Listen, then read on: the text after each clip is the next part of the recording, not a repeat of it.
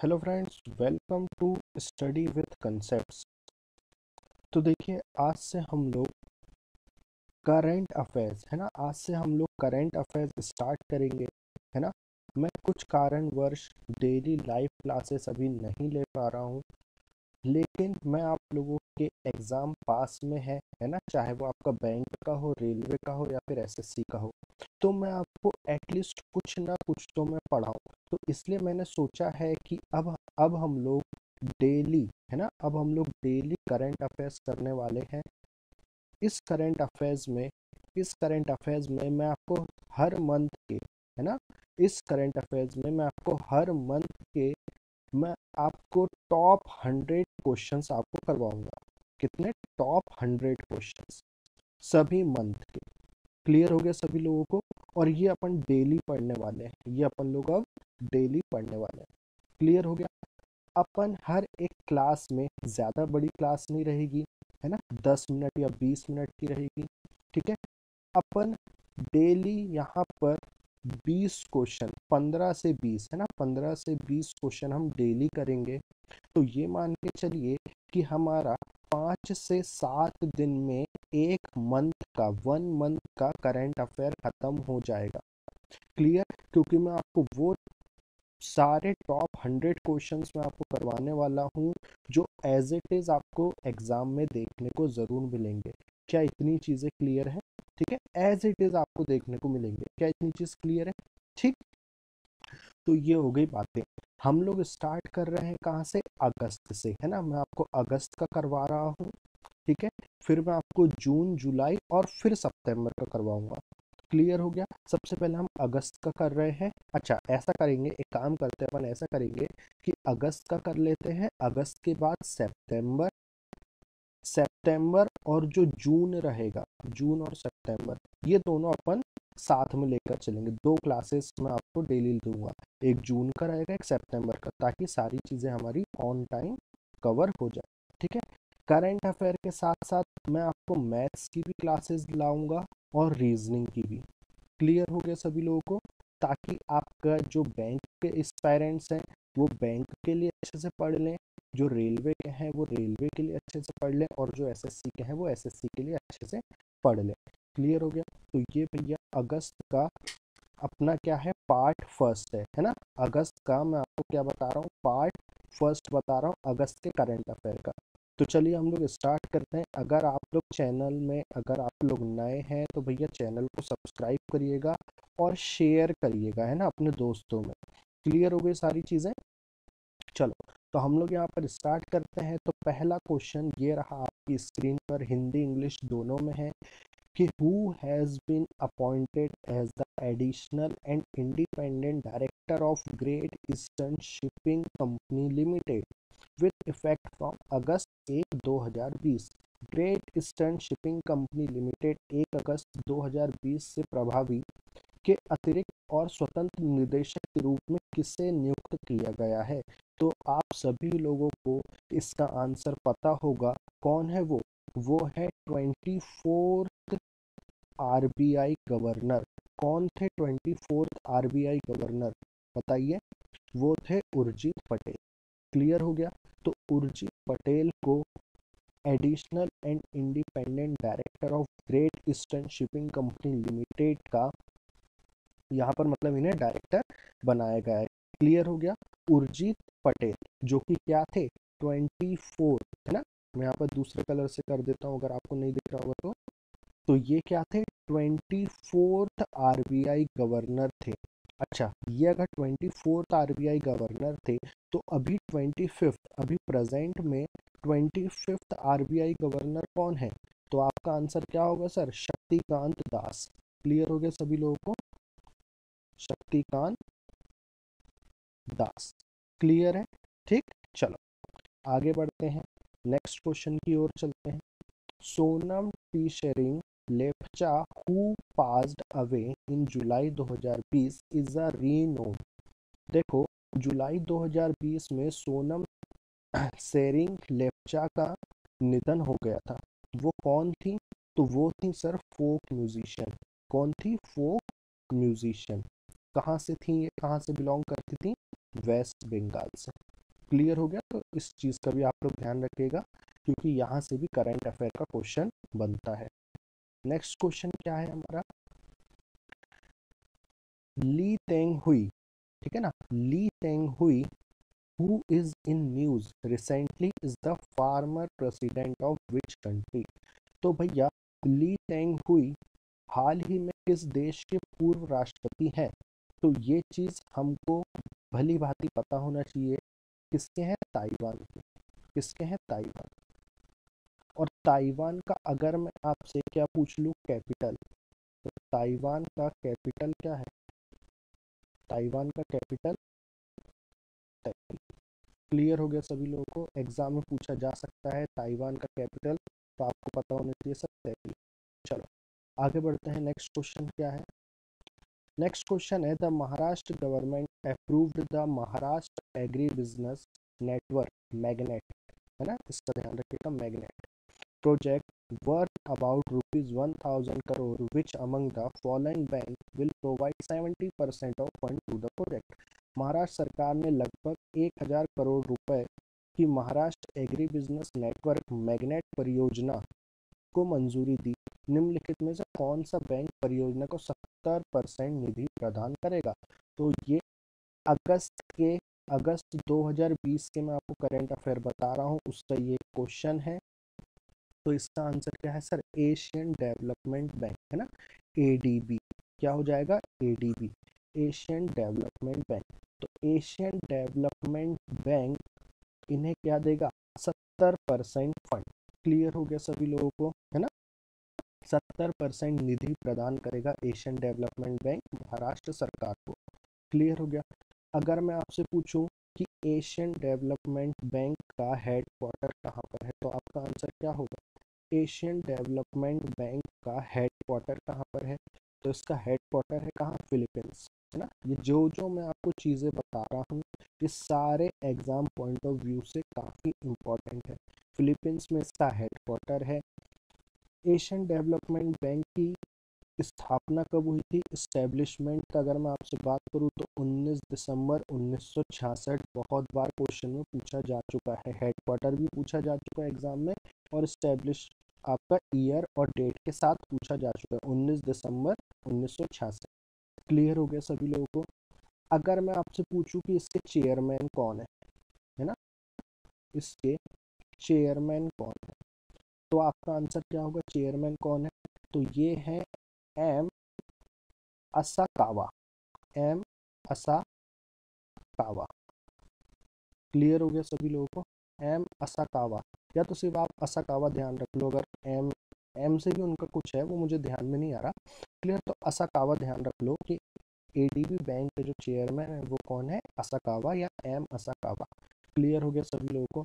अच्छा अब महाराष्ट्र सरकार की बात की तो महाराष्ट्र सरकार का सीएम सभी को पता है, गवर्नर। गवर्नर बताओ, गवर्नर कौन है? महाराष्ट्र सरकार के गवर्नर कौन है? तो भगत सिंह कोश्यारी, है ना? भगत सिंह कोश्यारी। क्लियर हो गया, है ना? राइटिंग को थोड़ा सा एक बार आप लोग समझ लीजिएगा, है ना? राइटिंग थोड़ी अच्छी नहीं है। बट मैं यहाँ पर आपको डिटेक्ट कर देता हूँ, महाराष्ट्र सरकार के जो गवर्नर हैं, वो कौन है? भगत सिंह कोशियारी। क्लियर हो गया सभी लोगों को? चलो, आगे बढ़ते हैं। नेक्स्ट क्वेश्चन क्या है? नेक्स्ट क्वेश्चन यहाँ पर हमको दे रखा है कि हरियाणा फॉरेस्ट डिपार्टमेंट है ना? Haryana forest department use drone for aerial seeding to increase green cover in Aravallis recently which I I T design the seeding drone किस आईआईटी ने सीडिंग ड्रोन को डिज़ाइन किया है? तो ये ध्यान रखिएगा कि किस आईआईटी ने किया है तो वो है sir IIT Kanpur. IIT Kanpur ने सीडिंग ड्रोन को क्या किया है? डिज़ाइन किया है। क्लियर हो गया सभी लोगों को? इतनी चीज़ें क्लियर है है ना? हरियाणा। हरियाणा का हमें सीएम पता है? कौन है हरियाणा के सीएम मनोहर लाल खट्टर मनोहर लाल खट्टर ठीक? अच्छा गवर्नर कौन है? देखो C M governor, currency, capital, ये सारी चीज़ें पूछी जाती है एग्ज़ाम में। एक न क्वेश्चन आना है नेशनल पार्क वगैरह लेक वगैरह, एक न क्वेश्चन यहाँ से बनना ही है। क्लियर तो हम वो साथ में लेकर चल रहे हैं। तो हरियाणा सीएम कौन है? मनोहर लाल खट्टर। गवर्नर कौन है? गवर्नर।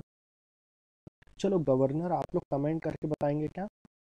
जल्दी बताइए। ठीक है?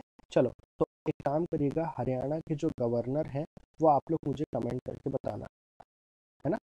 पूरा नाम, चलो, मैं आपको हिंट दे देता हूँ, सत्यादेव सत्यादेव, ठीक है? इनका पूरा नाम आप लोग मुझे कमेंट करके बताइएगा।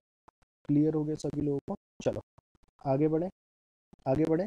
Next question world's world breast feeding V W is observed annually on August 1 to 7. What is the theme of WBW 2020? 2020 की वर्ल्ड बेस्ट फीडिंग वीक की थीम क्या थी? तो इसकी थीम क्या थी? ध्यान रखिएगा support breast feeding for a healthier planet क्या थी sir? Support breast feeding for a healthier planet clear चलो, आगे चलते हैं। Find the person who has been appointed as fourteen controller and auditor general जिसे हम क्या कहते हैं? कैग ऑफ़ इंडिया तो हमें बताना है कि फोर्टीन कैग कौन नियुक्त हुए हैं। फोर्टीन नियंत्रक और महालेखा परीक्षक के रूप में किसे नियुक्त किया गया है? तो भैया ध्यान रखिएगा जी सी मुर्मू। जी सी मुर्मू मतलब क्या? गिरीश चंद्र मुर्मू। गिरीश चंद्र मुर्मू। मैं यहाँ पर और भी चीज़ें इससे रिलेटेड बता देता हूँ। गिरीश चंद्र मुर्मू क्या है? फोर्टीन कैग है। Controller and auditor general of India clear CAG की जो बातें हैं, वो हमारे कॉन्स्टिट्यूशन में कौन से आर्टिकल में कही गई है?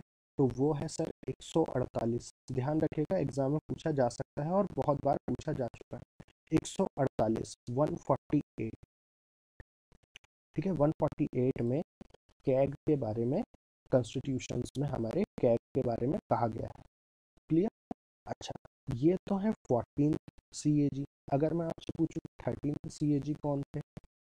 थर्टीन सी ए जी कौन थे? तब आपका आंसर क्या होता? तब आपका आंसर होता राजीव महर्षि। राजीव महर्षि। क्लियर हो गया? राजीव महर्षि। अगर मैं आपसे पूछता कि फ़र्स्ट कैग कौन थे?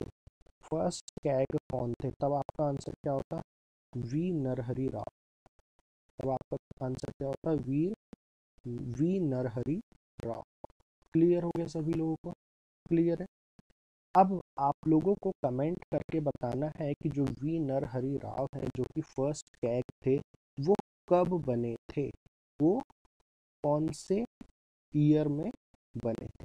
क्लियर हो गया सभी लोगों को? चलो, आगे बढ़ते हैं। नेक्स्ट क्वेश्चन क्या है सर नेक्स्ट क्वेश्चन है which country is going to host the 13th edition of Indian premier league IPL 2020 देखिए आईपीएल 2020 जो है वो सितंबर है ना? 19 सितंबर से स्टार्ट हो रहा है नवंबर तक, है ना? 10 नवंबर तक 19 सितंबर से 10 नवंबर तक। तो ये कहाँ पर होस्ट किया जा रहा है? थर्टीन आईपीएल कहाँ पर होस्ट किया जा रहा है? तो ये है sir United Arab Emirates UAE में, ठीक है ना? यूएई में। यूएई की कैपिटल क्या है? तो इसकी कैपिटल क्या है? Abu Dhabi. अगर मैं आपसे इसकी करेंसी पूछूँ तो करेंसी क्या है? तो करेंसी क्या है, सर? दिरहम, है ना? दिरहम। क्लियर हो गया सभी लोगों को? तो यूएई का कैपिटल है अबू धाबी, करेंसी है दिरहम। थर्टीन आईपीएल जो है वो 19 सितंबर से 10 नवंबर तक के बीच चलेगा। और ये कहाँ का कौन होस्ट कर रहा है? यूएई क्लियर हो गया? कहाँ पर होने वाला है ये? यूएई में। इतनी चीज़ें क्लियर है क्या? इतनी चीज़ें क्लियर है? ठीक है? आगे बढ़े। चलो। अच्छा एक चीज़ और ध्यान रख लो कि सबसे पहले इंडियन प्रीमियर लीग कौन से साल में हुआ था? तो 2008 एग्ज़ाम में पूछा जाता है। ठीक है? फ़र्स्ट आईपीएल जो हुआ था, वो 2008 में हुआ था। जल्दी से आप लोग अब मुझे कमेंट करके बताइएगा कि 2019 में विनर कौन था आईपीएल का। 2019 में आईपीएल का विनर कौन था?